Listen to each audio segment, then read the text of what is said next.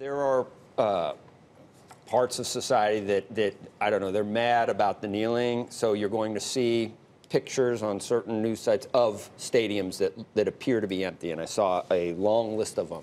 Again, they're not empty, but just a lot of, of open seats. I- I- I- what do you, how do you uh, explain what's happening in? I- Is attendance down in stadiums, and, and what's it due to? The- Our attendance is off about 1%. And remember, we have uh, two teams that are are going through major transitions in Los Angeles, playing in two different yeah, Rome's stadiums. doing well, though. Uh, we have a team that's be moving to Las Vegas shortly. So, uh, you know, we're very, very pleased where our attendance are. We always want to see those numbers go up, but we're about 98% of capacity. so the seats are, what, what, what are those pictures? Well, you always get that when you get that late in the season, particularly if the team isn't in the run and you get that.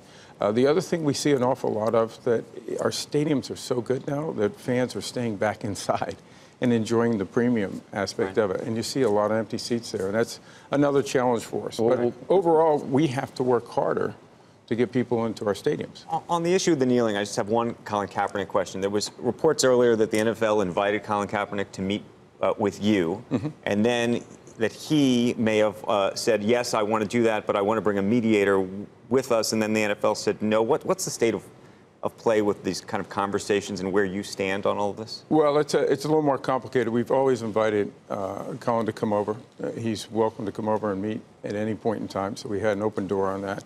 There were some meetings set up with the Players Coalition. They were invited by the Players Coalition. My understanding is they extended the invitations in that circumstance. Uh, but he's always welcome to join that. And the Players Coalition is, a, is an entity that we've been working very closely with, and frankly, we've had unprecedented dialogue Do you think them. he should be playing?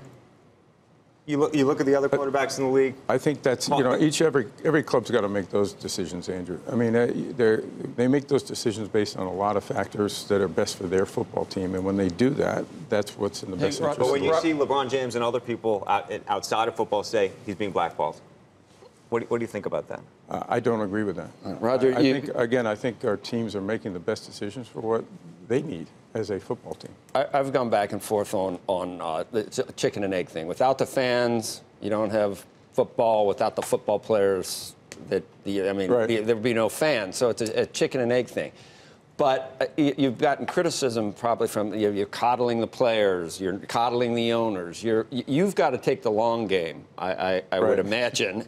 you've got some negotiations coming up down the road with the players. You don't want you know you don't want the players to to feel like they're they're something other than, than employees. I mean, they're, the, the owners don't, you know, they, they, they aren't going to tell the players what they absolutely have to do because we all have freedom of speech and everything else. But is there a way to walk that line where you where you register a protest just not during the anthem? Is that that's sort of what some teams have come up with, but. I, but you can't. Can you actually say don't do it during the anthem? Then that's going to say, you know, there's going to be people that, that chafe under under that. Well, Joe, we, ha- we respect. How are you going to do this? We respect our players. And Right. we've had an incredible amount of dialogue between the league, the owners, the players. And what we've tried to do is create a new platform, which you're seeing unfold actually over the last several weeks and, and going forward, that is going to give them an opportunity and for us to highlight their important work in the community to make their communities better. And I, we think that that is going to serve. That's what the players really wanted.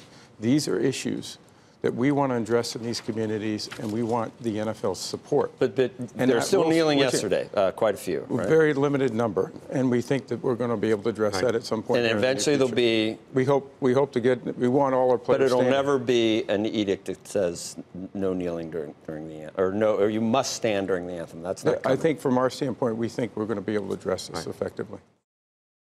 Hey there, thanks for checking out CNBC on YouTube. Be sure to subscribe to stay up to date on all of the day's biggest stories. You can also click on any of the videos around me to watch the latest from CNBC.